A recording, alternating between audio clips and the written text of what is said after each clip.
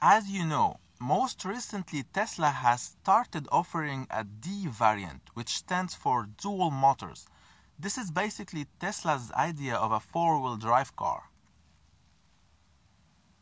This motor that they've added sits right underneath the front luggage compartment and is this little silver steel box sitting behind under the red battery box.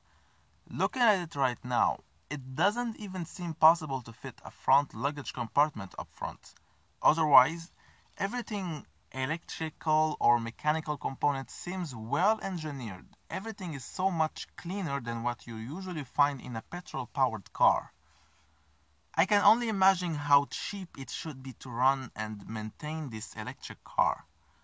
Unless there is a new kind of disease that, that only electric cars can develop.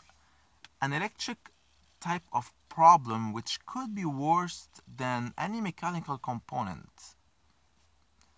The fact is that there is five Teslas sitting next to each other waiting to be brought in and lifted up for diagnosis. Worse than any mechanical component failure.